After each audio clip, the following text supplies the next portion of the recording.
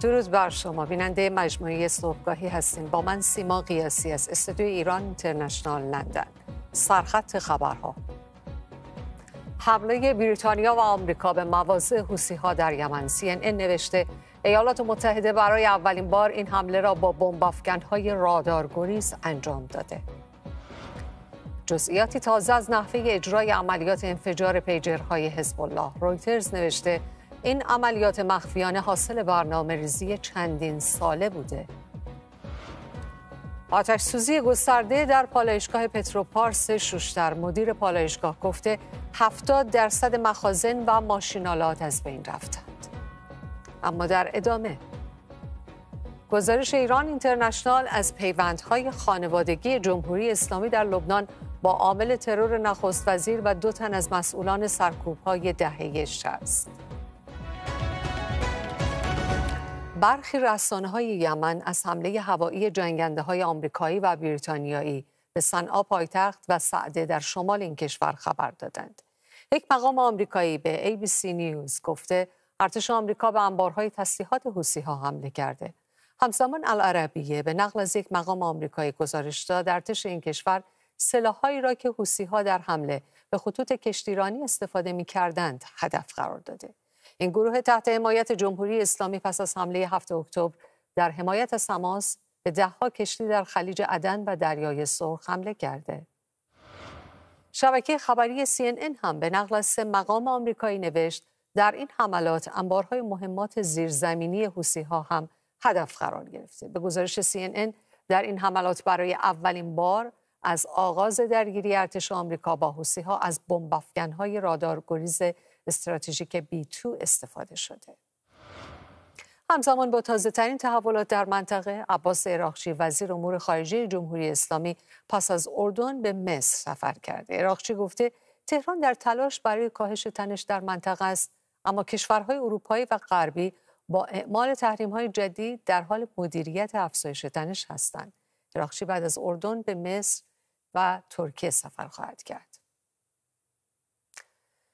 حسن هاشمیان تحلیلگر جهان عرب از واشنگتن همراه ما هستن. وقتتون بخیر جناب هاشمیان. حمله امشب بریتانیا و آمریکا به مواضع حوسی ها به نوشته CNN آمریکا برای اولین بار از بمب های رادار گریز استفاده کرده.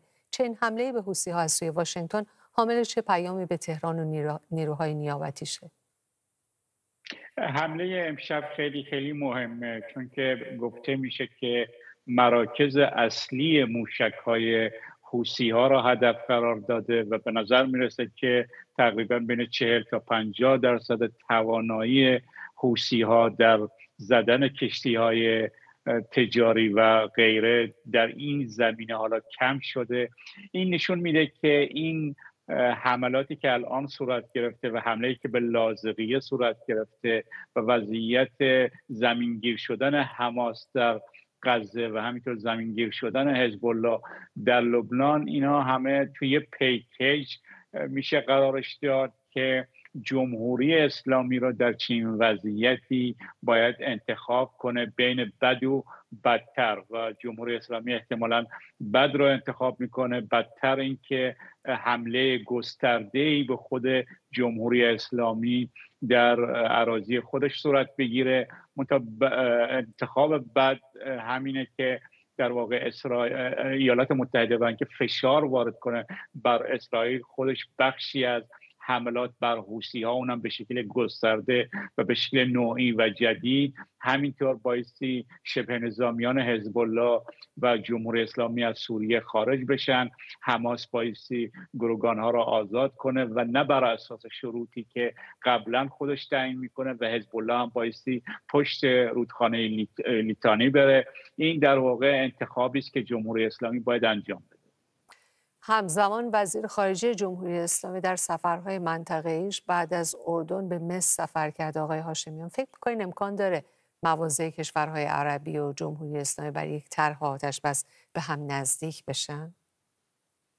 ببینید اگر به نشست اروپا و کشورهای ثروتمند همسایه توجه کنیم و اگر به سفر محمد بن سلمان به قاهره قبل از سفر عراقچی توجه کنیم این نشون میده که در واقع اگرچه این کشورها در یک نقطه با جمهوری اسلامی مشترکن که باعث جنگ غزه و لبنان متوقف بشه ولی در بسیاری از نقاط با جمهوری اسلامی اختلاف دارن و ما شنیدیم که در رابطه با تهدیدهایی که جمهوری اسلامی علیه کشورهای منطقه انجام داده محمد بن سلمان گفتگوهای مفصلی رو با در واقع عبدالفتاح سیسی داشته. یه مسئله دیگه این که جمهوری اسلامی به دنبال یک میانجیگری جدید بین خودش و اسرائیل با وضعی که پیش آمده میگرده و میانجیگری که با ایالات متحده متفاوت باشه. یعنی در واقع تمام کارهایی که قبلا جمهوری اسلامی انجام می‌داده در رابطه با اسرائیل از طریق آمریکا بوده. اونم به شکل غیر مستقیم. الان جمهوری اسلامی تلاش می‌کنه که در این زمینه از مصری ها کمک می‌گیره. به حمله مشترک بریتانیا و آمریکا به حوسی ها برگردیم. فکر می‌کنید واکنش این گروه تحت حمایت تهران چی باشه؟ من فکر می‌کنم با شرایطی که جدیدن در منطقه شکل گرفته و در آستانه حمله اسرائیل و با توافقاتی که بر سر این حمله صورت گرفته و اینکه چگونه نتانیاهو محدوده حملش رو کمتر کنه بعید به نظر می‌رسه که اینها بتونن واکنش خیلی گسترده ای نسبت به اونچه که در گذشته انجام میدن انجام بدن. و این احتمالا بخشی از توافقاتی است که با جمهوری اسلامی صورت گرفته. سپاس از شما. حسن هاشمیان تحلیلگر جهان عرب که از واشنگتن همراه ما بودیم. وزارت بهداشت لبنان اعلام کرد حمله اسرائیل به ساختمان شهرداری نبتیه در جنوب لبنان 16 کشته و 52 زخمی به جا گذاشته. در این حمله ساختمان شهرداری هدف قرار گرفته و شهردار نبتیه و جمله کشته شدگان این حمله گزارش شده. ارتش اسرائیل گفته موازی از حزب الله رو هدف قرار داده. CNN به نقل از یک منبع آگاه گزارش داد طرح اسرائیل برای حمله تلافی جویانه به جمهوری اسلامی آماده است. مقامات آمریکایی به CNN گفتند انتظار می رود اسرائیل به حمله اخیر ایران تا قبل از برگزاری انتخابات آمریکا در 15 آبان پاسخ تلافی جویانه بدهد. وزیران دفاع آمریکا و اسرائیل چهارشنبه در تماسی تلفنی درباره درگیری های اسرائیل و حزب الله استقرار سامانه موشکی تاد در اسرائیل و تأمین امنیت نیروهای حافظ صلح سازمان ملل گفتگو کردند. لوید آستین و یواو گالانت همچنین درباره ارسال کمک های انسان دوستانه به غزه تبادل نظر کردند. وزیر دفاع آمریکا از دولت اسرائیل خواست به اقدام تازه خود افزایش ورود کمک های انسان دوستانه به غزه ادامه دهد. ارتش اسرائیل پس از چند روز حملات هوایی به زاهیه در جنوب بیروت را از سر گرفته و جتهای جنگنده این کشور انبارهای تسلیحات حزب الله را هدف قرار دادند. به گزارش ارتش اسرائیل نیروی زمینی این کشور نیز در عملیاتی در جنوب لبنان دهها جنگجوی حزب الله را کشته و تعدادی انبار مهمات و سلاح این گروه را منهدم کرده. پلیس و سازمان امنیت داخلی اسرائیل روز چهارشنبه از دستگیری ولادیمیر وخوفسکی شهروند اسرائیلی ساکن تلاویو به اتهام رابطه با مأموران جمهوری اسلامی و برنامه ریزی برای ترور یکی از دانشمندان اسرائیلی خبر دادند. به گزارش پلیس مأموران جمهوری اسلامی به این شخص برای اجرای طرح ترور 100 هزار دلار پیشنهاد دادند. اسرائیل روز سهشنبه نیز از دستگیری یک زوج اسرائیلی به اتهام جاسوسی و عملیات تروریستی برای جمهوری اسلامی خبر داده بود.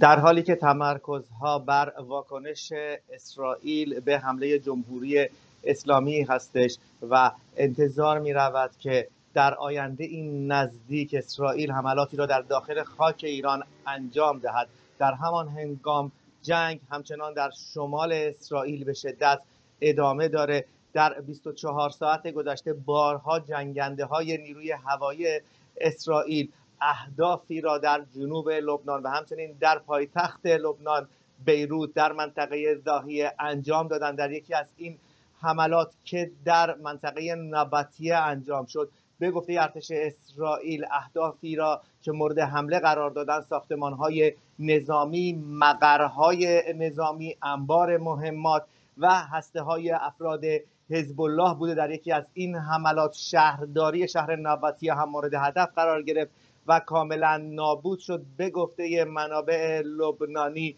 احمد کهیل شهردار این شهر و گروهی از اعضای شورای این شهر هم در این حملات کشته شدن لبنان واکنش سختی به این موضوع نشان داد و وزارت امور خارجه لبنان در یک نامه ای شکایتی به سازمان ملل ارائه کرد و در اونجا گفته شده است که اسرائیل حاکمیت لبنان را نقض می کند در مقابل حزب الله لبنان هم چندین بار به سوی اسرائیل امروز موشک پرتاب کرد. بیش از صد موشک در 24 ساعت گذشته از طرف حزب الله لبنان به مناطقی در شمال اسرائیل پرتاب شده. امروز یک موشک هم از سوی نوار غزه به سوی اسرائیل پرتاب شد. موشکی از شمال نوار غزه به این سو پرتاب شده. در کنار اون اسرائیل می‌گوید که حملات زمینی خودش را در لبنان ادامه میده و در روزهای گذشته توانسته ده نفر از اعضای واحد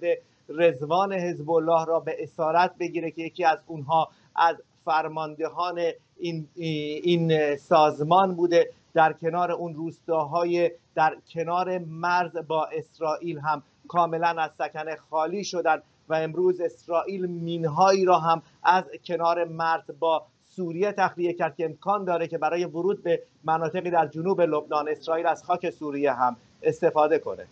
بابک اسحاقی اسرائیل. اعضای شورای امنیت سازمان ملل در جلسه اضطراری درباره وضعیت انسانی در نوار غزه هشدار دادند. در این نشست که به درخواست بریتانیا و همراه فرانسه و الجزایر برگزار شد اعضای شورا خواستار ارسال کمک های بشردوستانه به نوار غزه شدند. کاخ سفید نیز اعلام کرد آمریکا اطمینان حاصل خواهد کرد اسرائیل به ساکنان شمال غزه گرسنگی اجباری نمی‌دهد. باربارا وودوارد نماینده بریتانیا در سازمان ملل متحد در نشست شورای امنیت این سازمان ضمن اشاره به رنج مردم غزه گفت نباید اخراج اجباری در این منطقه وجود داشته باشد و حماس هم باید گروگانهای اسرائیلی را بدون قید و شرط آزاد کند. Northern Gaza must not be cut off from the south. شمال غزه نباید از جنوب جدا شود. غیر نظامیان فلسطینی از جمله کسانی که از شمال غزه تخلیه شدند باید مجاز به بازگشت به جوامع خود و بازسازی شوند. هیچ گونه اخراج اجباری فلسطینیان از غزه نباید صورت گیرد و این باریکه نباید محدود شود. ما باید فوراً شاهد یک آتش بس باشیم تا به این درگیری ویرانگر پایان داده شود. ما همچنین باید در ذهن خود درد و رنج غیر قابل تصور 101 گروگانی که هنوز در غزه در اسارت هستند را در نظر داشته باشیم. رنج آنها مدت هاست که ادامه یافته است. بار دیگر ما از حماس می خواهیم که گروگانها را فوراً و بدون غیر و شرط آزاد کند و همانطور که می دانیم رنج این منطقه فراتر از غزه است.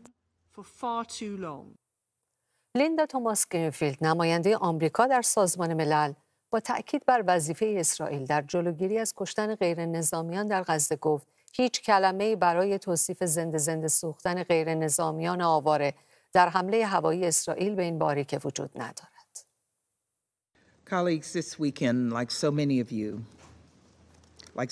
همکاران این آخر هفته مانند بسیاری از شما مانند بسیاری از مردم در سراسر جهان من با وحشت تصاویری از مرکز غزه تماشا کردم.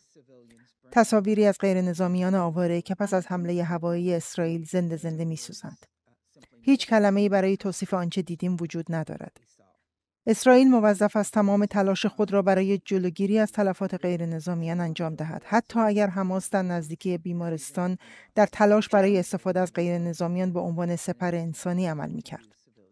ما این را برای اسرائیل روشن کرده ایم. همانطور که به دولت اسرائیل در بالاترین سطوح گفته ایم که باید برای رسیدگی به بحران انسانی غیر قابل تحمل و فاجعه بار در غزه اقدامات بیشتری انجام دهد.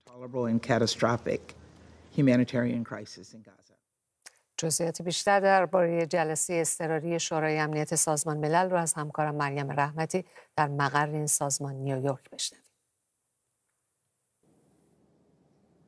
جلسه اضطراری شورای امنیت سازمان ملل در خصوص وضعیت بشردوستانه در نوار غزه روز چهارشنبه برگزار شد. جلسه بسیار مهمی بود و به گفته دیپلمات ها قطعا منتج به اعمال فشار سیاسی بیشتر بر اسرائیل خواهد شد. چنانچه که نزدیکترین متحدان اسرائیل هم به دنبال اعمال فشار و تحریم ها بر دولت نتانیاهو به دلیل وضعیت بشری در غزه هستند. این نشست اضطراری شورای امنیت به درخواست بریتانیا فرانسه و الجزایر برگزار شد و همه اعضا بر فاجعه انسانی در غزه تاکید کردند و از اسرائیل انتقاد کردند به خاطر اونچه که داره در غزه اتفاق میافته. معاون موقت دبیرکل سازمان ملل در امور کمک های بشردوستانه در جلسه شورای امنیت سازمان ملل تصویر هولناکی از وضعیت بشردوستانه در نوار غزه ترسیم کرد و گفت که از دوم ماه اکتبر تا 15 این ماه هیچ مواد غذایی و کمک بشردوستانی وارد شمال غزه نشده. نماینده بریتانیا هم که کشورش درخواست این جلسه رو داده بود در این جلسه گفت که هزاران نفر به دلیل این جنگ آواره شدند و کسانی که می‌خوان از شمال بیرون بیان با حملات هوایی اسرائیل روبرو میشن و کسانی هم که میمونن با گرسنگی شدید مواجهند باربارا وودوارد تاکید کرد که اسرائیل باید بر قوانین بین الملل بشردوستانه پایبند باشه. کاخ سفید هم بیانیه منتشر کرد و گفت که ایالات متحده آمریکا اطمینان حاصل خواهد کرد که اسرائیل به ساکنان شمال غزه گرسنگی اجباری نخواهد داد. اما نماینده اسرائیل در این جلسه دوباره تاکید کرد که حماس از مردم غزه به عنوان سپر, سپر انسانی استفاده می‌کنه اما همه اعضای جامعه جهانی به این باور هستند که باید هرچه زودتر وضعیت بشردوستانه در نوار غزه بهبود پیدا بکنه مریم رحمتی مقر سازمان ملل نیویورک خبرگزاری رویترز در گزارشی جزئیاتی تازه از نحوه اجرای عملیات انفجار پیجرهای حزب الله منتشر کرده. رویترز نوشته طراحی مخفیانه بمب پیجر عملیاتی چند ساله بوده. این خبرگزاری به نقل از یک منبع لبنانی نوشته مامورانی که این پیجرها را ساختند باتری های جدیدی را طراحی کردند که مواد منفجره پلاستیکی و یک چاشنی جدید را در خود پنهان کرده بودند که در بازرسی با اشعه ایکس هم قابل کشف و شناسایی نبودند. به گفته این منبع لبنانی پیجرها حاوی مواد منفجره پلاستیکی بوده که به شکل فشرده بین دو سلول باتری کار گذاشته شده بودند. در گزارش رویترز آمده پیجرها با استفاده از چاشنی های غیر معمولی کار می کردند که بدون استفاده از فلز بودند و حزب الله نتوانست در بازرسی های اولیه مواد منفجره شناسایی کند. کارشناسان معتقدند این دستگاه ها توان کافی برای ایجاد جرقه و انفجار مواد منفجره را داشتند. شکریا برادوس پژوهشگر امنیت بین الملل و سیاست خارجی از واشنگتن دی سی با ما هستند. وقتتون بخیر خانم برادوس چه اطلاعاتی از این حمله پیجرها در گزارش رویترز وجود داره؟ به نظر من گزارشی که داریم می‌بینیم واقعا یک گزارشی است برای یک موضوعات امنیتی فوقالعاده است کاری که انجام دادن. اگه از نظر تکنیکایی که استفاده کردن در موردش توضیح بدیم در دنیای مدرن تکنولوژی که داریم صحبت می‌کنیم این گزارش نشون میده که این برنامه رو سه سال دارن روش کار کردن.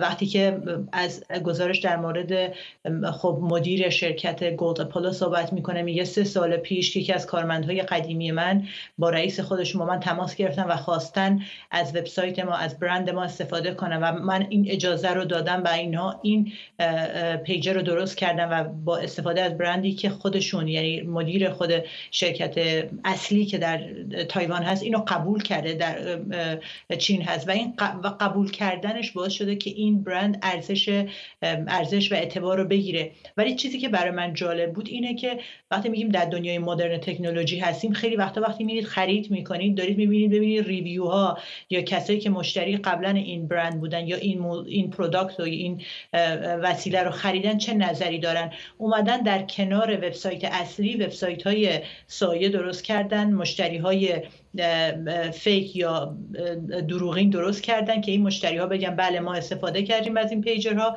و خیلی خوب بوده کارآمدی خیلی خوبی داشتن.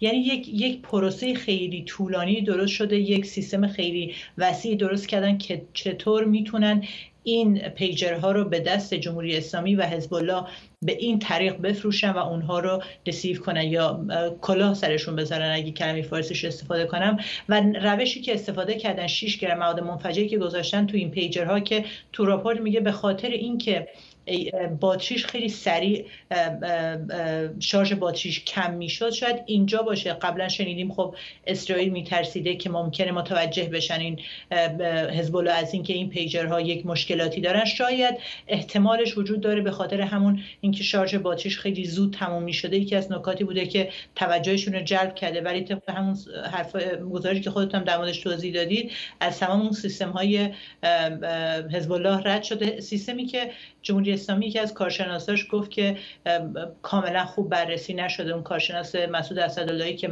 می‌دونیم که جزئیات خیلی دقیقی در مورد فرستادن این پیجرها به طرف حزب الله از طرف جمهوری اسلامی رو گفت.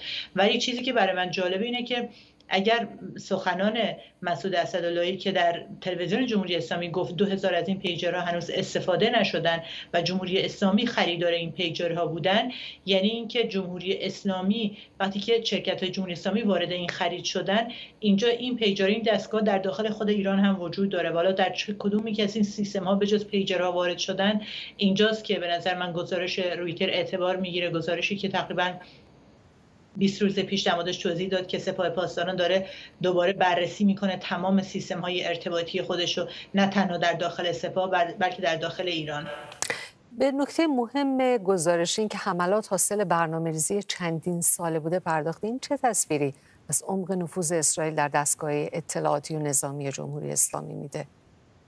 همین توضیحی که دادم در مورد اینکه خب می‌دونیم اسد مسعود اسداللهی یکی از مشاوران قاسم سلیمانی بوده و یکی از اساتید مشهور سپاهی هست. وقتی که توضیح میده که شرکت جمهوری اسلامی رفته این پیجرها رو برای حزب الله تهیه کرده مطمئنا خب می‌دونیم وقتی که برای حزب الله تهیه کرده یعنی جمهوری اسلامی پول این پیجرها رو داده.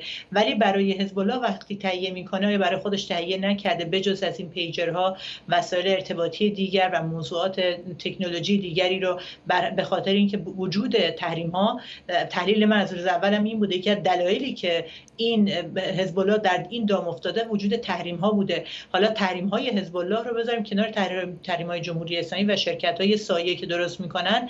مطمئنا جمهوری اسلامی هم در یکی از این دام ها افتاده بجز از موضوع پیجرها. برای همین هم هست. این وقتی که در چنین طرحی رو داریم می‌بینیم در راپورت رویترز که اینها سه سال این گونه برنامه‌ریزی کردن و پیجرها وارد لبنان شده با اوایل امسال یعنی ببینید در طول چه سالهایی اسرائیل کار کرده و داخل سیستم جمهوری اسلامی نفوذ کرده. یکی از دلایلش هم به نظر من همین تحریم ها بوده و این دور زدن تحریم هایی که جمهوری اسلامی خیلی باش افتخار می‌کنه که می‌تونه دور بزنه تحریم ها رو چیزی که می‌دونیم ظریف می‌خواست به روسیه هم کمک کنه در مورد دور زدن تحریم ها ولی دور زدن تحریم ها یکی از عواقبش همینه. شرکت هایی که شما راحت می‌تونید در داخل دام این شرکت ها بیفتید. برای همین هم از در داخل جمهوری اسلامی به نظر من برای ترسی که الان وجود داره اینه که تا چه حدی اسرائیل نفوذ کرده و وقتی که بعد از سه سال نفوذش رو در لبنان می‌دونن صد درصد در جمهوری اسلامی سالهاست این نفوذ وجود داره ولی کشفش خیلی سخت بود برای جمهوری اسلامی. شکریه برادوز پژوهشگر امنیت بین الملل و سیاست خارجی. ممنون که از واشنگتن با ما بوده همچنان بیننده و شنونده ایران اینترنشنالید. نگاهی دوباره به سرخط خبرها. حمله بریتانیا و آمریکا به مواضع ها در یمن CNN نوشته آمریکا برای اولین بار این حمله را با بمب های رادارگریز انجام داده. جزئیاتی تازه از نحوه اجرای عملیات انفجار پیجرهای حزب الله رویترز نوشته این عملیات مخفیانه حاصل برنامه ریزی چندین ساله بوده. مدیر پالایشگاه شوشتر می‌گوید 70 درصد از مخازن و ماشینالات پالایشگاه پتروپارس شوشتر که روز گذشته دچار آتش سوزی شد از بین رفتند. محسن قلیزاده مدیر پالایشگاه پتروپارس به اینسنا گفته بازگرداندن پالایشگاه به خط تولید حداقل دو ماه به طول می انجامد. پیشتر مقامات استان خوزستان علت بروز سانحه در این شرکت را رعایت نکردن نکات ایمنی در سوختگیری ماشین حمل سوخت عنوان کرده بودند. امید شکری کارشناس نفت و انرژی از واشنگتن با ما هستن. شبتون بخیر جناب شکری. دلیل حادثه خطای انسانی عنوان شده. اساسا چقدر به اصول ایمنی در پالایشگاه ایران اهمیت داده میشه؟ بله باید اشاره بکنم که شرط تولید پایدار در صنعت انرژی ایران بشه در صنعت نفت توجه ویژه به اصول ایمنی هم در ساخت انرژی و هم ایمنی کارکنان صنعت نفت ایران و صنعت انرژی ایران می باش. هستش که اگر به این مورد توجه خاص توجه ویژه مبذول داشته نشه میشه انتظار داشت که حوادثی مثل حوادث پالاشگاه شوشتر اتفاق بیفته. اگر بخوام به صورت آماری به حوادث مختلفی در صنعت نفت ایران در دهه گذشته صورت اشاره بکنم فقط در دولت 11 هم بیش از 51 حادثه آتش سوزی و انفجار در صنعت انرژی ایران ویژه در صنعت پتروشیمی اتفاق افتاد که در این 51 حادثه متاسفانه 34 کارگر صنعت نفت جون خودشون از دست دادن و 37 کارگر در این حوادث مجروح شدند اگر بخوایم به سرمایه گذاری کلی در صنعت انرژی ایران از نفت گاز میادین نفت گاز خلول کشی و دانشگاه در دست احداث و پتروشیمی اشاره بکنیم یا یک رقم سر انگشتی بیش از 700 میلیارد دلار در این چهار دهه هزینه شده که متاسفانه کمترین سرمایه گذاری بر روی ایمنی هم زیرساخت انرژی و هم ایمنی کارگران صنعت نفت ایران اعمال شده و برخی موارد برای اینکه بتونن ظرفیت تولید نفت و گاز و حتی مصرف پتروشیمی رو در بخش‌های مختلف افزایش بدن مسائل اقتصادی فدای اون امنیت صنعت زیرساخت انرژی و امنیت کارگران صنعت نفت فدای مسائل اقتصادی شده و امنیت کارگران نادیده گرفته شده و در برخی موارد اون اون خطای کارگران هم باعث شده که به خاطر اون فشارگاری باعث شده که ما شاهد باشیم که حوادث آتش سوزی و انفجار در زیرساخت انرژی ایران ببیشن. پالایشگاه ها بیشتر از سایر کشورهای همسایه بویژه عربستان و قطر و امارات و کویت هستش و عرض کردم. و تا وقت ایمیلی به طبقه اصلی مدیران ارشد صنعت نفت تبدیل نشه و سرمایه گذاری لازم هم در بخش فنی و هم در بخش انسانی صورت نگیره. با توجه به تداوم ناتارزی در بخش نفت گاز گازوئیل و برق میشه انتظار داشت که در سالها و ماهای آینده همچنین حوادث رو متاسفانه شاهد باشیم که بیشترین هزینه بر روی کارگران صنعت نفت و خانواده اونا تحمیل میشه. آقای شکری محصولات تولیدی پتروپارس شوشتر چی بوده؟ این پالشگاه چه ویژگیهایی داشته؟ می‌خوام به این برسم آسیب به اون تو این سر چه تاثیر رو صنعت پتروشیمی می‌گذاره؟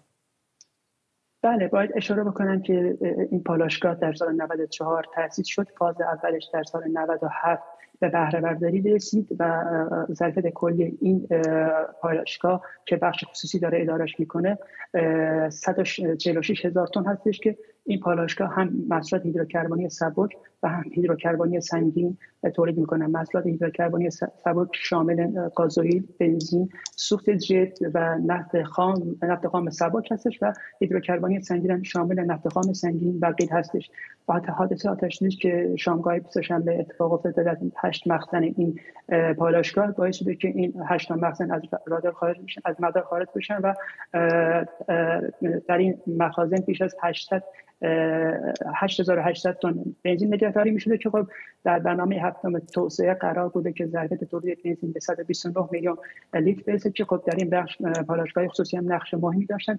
با توجه به تداوم بحران بنزین حادثه در پالایشگاه شوشتر و حوادث احتمال آینده می‌تونه دامنه کمبود و ناترازی در بخش بنزین و سایر گازوئیل رو در ماها و سالهای آینده بیشتر بکنه و این می‌تونه باعث تداوم بحران انرژی در همه بخشا بشه بیجی که در فعلا در شروع آسانی شروع فصل سرما هستیم و برای جلسات متعدد فعلا راهکاری برای حل کمبود بنزین گازوئیل و بویژه گاز طبیعی توسط دستندگان صنعت نفت ایران اندیشیده نشده و حوادث چنین می‌تونه باعث هم کاهش صادرات محصولات نفتی بشه و هم باعث بشه که خب دامنه ابر بحران انرژی در ماهها و سالهای آینده افزایش پیدا بکنه و از قبل این افزایش دامنه بر بحران شما شاهد تاثیرات منفی در اقتصاد رشد اقتصادی و امنیت انرژی و همچنین زندگی روزمره مردم ایران باشید ممنون از شما. امید شکری. کارشناس نفت و انرژی از واشنگتن. نگاهی داشته باشیم به چند خبر دیگر از ایران.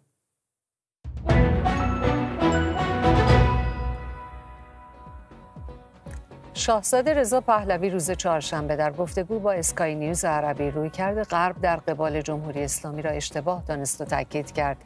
انتظار تغییر رفتار از رژیم تنها اصلاف وقت است او اضافه کرد جمهوری اسلامی از فلسطینی ها به عنوان سپر انسانی برای اهداف سیاسی خود استفاده می کند و به دنبال نابودی اسرائیل و تسلط بر کشورهای منطقه است. شورای هماهنگی تشکل‌های سنفی فرهنگیان در اعتراض به تشدید سرکوب معلمان در دولت پزشکیان با نام بردن از معلم‌هایی که به رغم آغاز سال تحصیلی همچنان تحت فشار و بازداشت هستند بیانیه ای صادر کرد. در این بیانیه آمده در صورت ادامه احصار، بازداشت، صدور احکام زندان و اخراج گسترده معلمان برای دفاع از همکاران خود تجمعات سراسری برگزار می کنند. به دنبال انتشار اخباری مبنی بر کشته شدن اتباع افغانستانی در مرز سراوان حسن کاظمی قومی نماینده ویژه جمهوری اسلامی در امور افغانستان این موضوع را تکذیب کرد. کاظمی قومی گفت جمهوری اسلامی مصمم است پناهجویان غیر مجاز را بازگردانده و با ورود غیرقانونی آنها برخورد کند. بر اساس اخبار رسیده به ایران اینترنشنال دهها پناهجوی افغانستان هنگام ورود به ایران در منطقه کلگان سراوان به دلیل انفجار مین و شلیک مأموران مرزی کشته و زخمی شده. یک ماه پس از عملیات جاسوسی نظامی انفجار پیجرها در بیروت همچنان وضعیت سلامت سفیر جمهوری اسلامی در لبنان در حاله از ابهام است. مقام های جمهوری اسلامی خبرها درباره آسیب چشمی او را تکذیب می کنند اما این تنها نکته مبهم درباره او نیست. مشتبه پور محسن در گزارشش با بررسی نسبت‌های خانوادگی سفیر جمهوری اسلامی در لبنان از حلقه ای از کارگزاران ترور، سرکوب و اعدام پرده برداری کرده.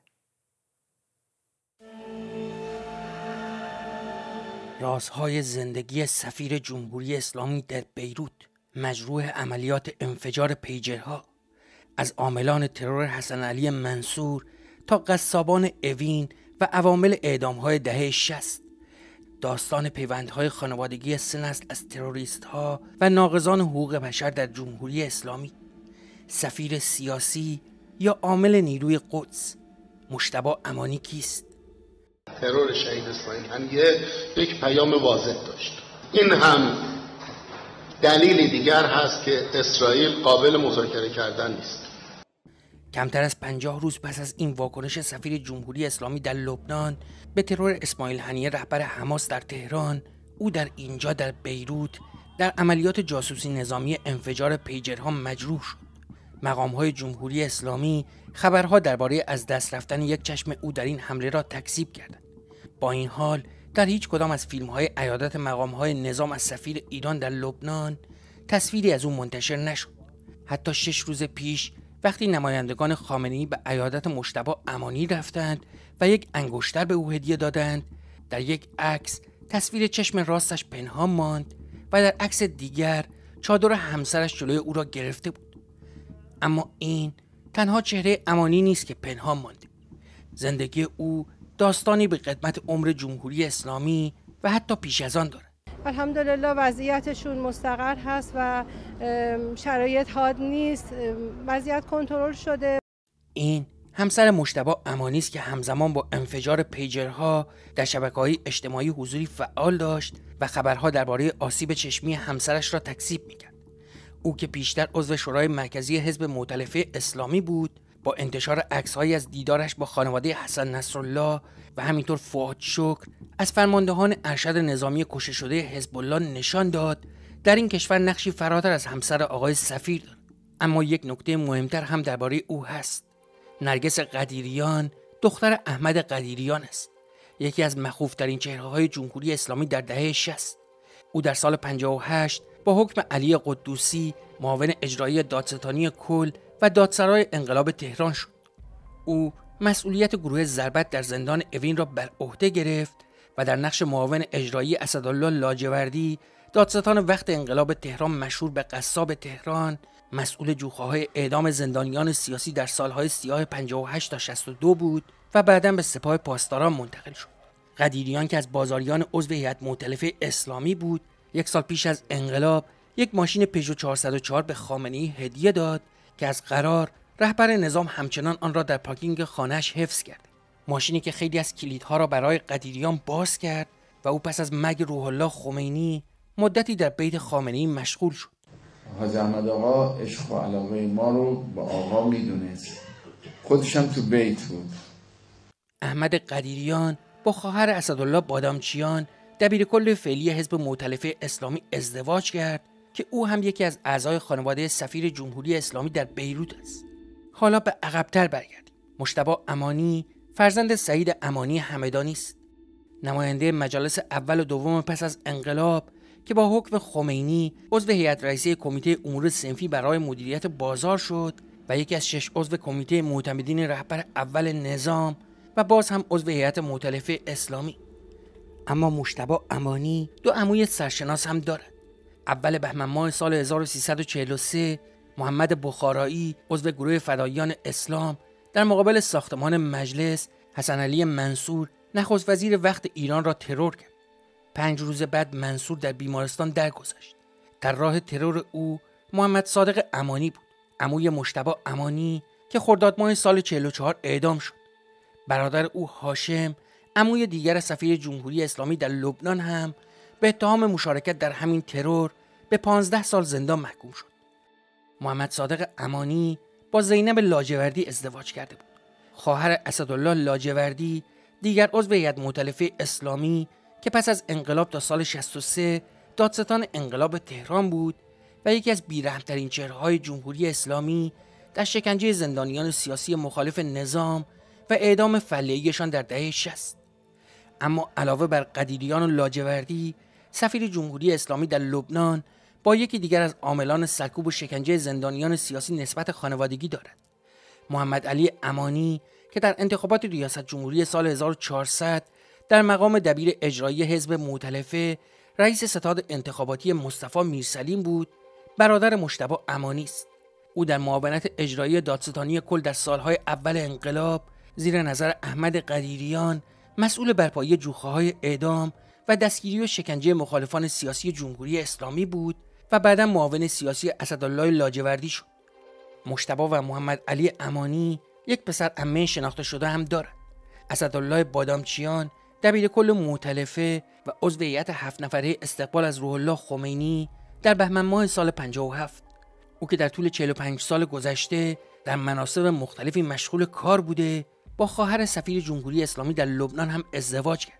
مجموعه نسبتهای خانوادگی و وصلتهایی که یک حلقه بزرگ از چهرههایی را شکل داده که اعضایش در طول هفتاد سال گذشته یا پیش از انقلاب عامل ترور بودند یا پس از انقلاب عضو دستگاه سرکوب شکنجه و اعدام جمهوری اسلامی و یا در سالهای اخیر بازوی نیروی قدس سپاه پاسداران.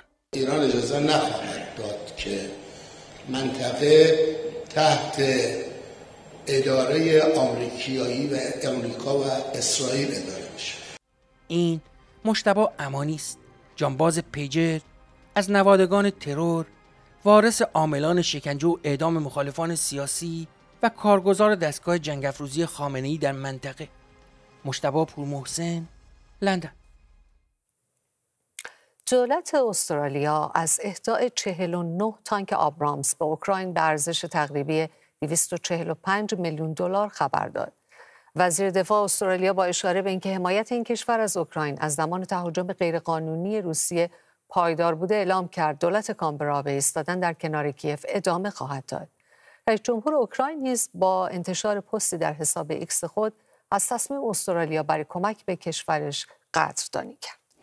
همکارم علیرضا محبی از ملبورن با ماست. علیرضا ده ها تانک زرهی چه اطلاعات بیشتری درباره بسته جدید حمایتی دولت استرالیا به اوکراین می‌تونی بهمون بدی؟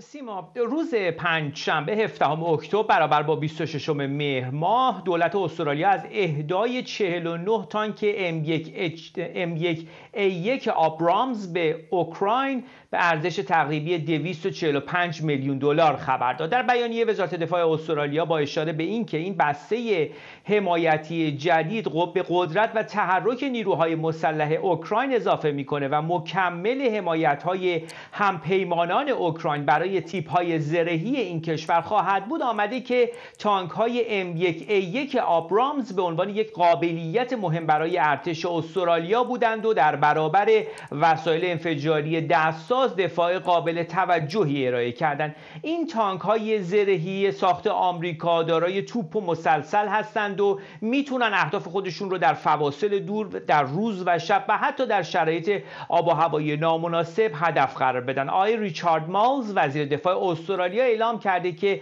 حمایت کشورش از اوکراین از زمان تهاجم غیرقانونی روسیه پایدار بوده و استرالیا به ایستادن در کنار اوکراین ادامه خواهد داد. آقای پت کانروی وزیر صنایع دفاعی استرالیا هم که این هفته در نشست وزرای دفاع ناتو در بروکسل حضور داره مستقیما همتای اوکراینی خودش رو در جریان آخرین بسته حمایتی استرالیا قرار خواهد داد. آقای کانروی گفته که با توجه به چالش های موجود در محیط ژئواستراتژیک مهمه که با شرکای جهانی برای جلوگیری از تهاجم و فشار و حفاظت از نظام بین المللی مبتنی بر قواعد همکاری کنیم. استرالیا به عنوان کشور غیر عضو ناتو بزرگترین اهدا کننده کمک نظامی به اوکراین در همین ارتباط آقای ولادیمیر زلنسکی رئیس جمهور اوکراین هم با انتشار پستی در حساب ایکس خودش از تصمیم استرالیا برای کمک به این کشور در دفاع از خودش در برابر تهاجم روسیه قدردانی کرد. در پیام رئیس جمهور اوکراین آمده که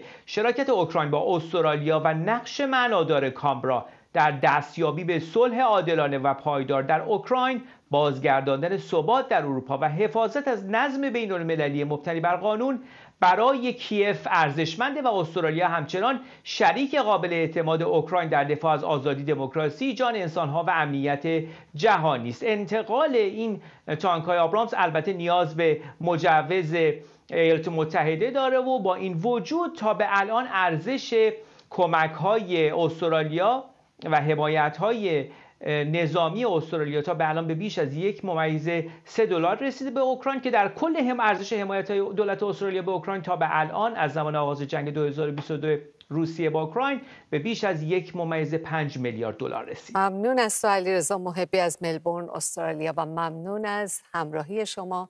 با من و همکارانم تا پایان این مجموعه خبری.